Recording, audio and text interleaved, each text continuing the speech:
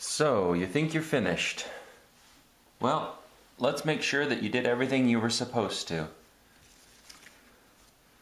Is your paper folded evenly? You have even spaces. When you drew your shapes, are your shapes evenly spaced all the way around? When you colored, did you color carefully? Did you leave white spaces, coloring outside of the lines? Do you have a plan? Is it clear that you've taken your time with all of your coloring? Thoughtful coloring, erasing the lines that you don't want. And then how do you finish it? Do you have a border? Are you leaving it white? Does it look like it's intentional, like you meant to do it?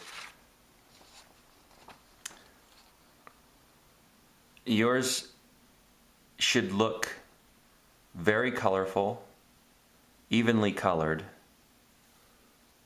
And while I don't expect you to do as much layering of colors as I did, I should still see that your coloring is evenly dark or evenly light all the way around so that they all look the same. That's the key.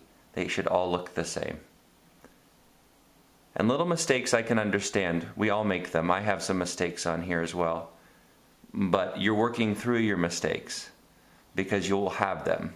And if you remember to draw lightly at first, both coloring lightly and drawing lightly with a pencil, you're more likely to have success.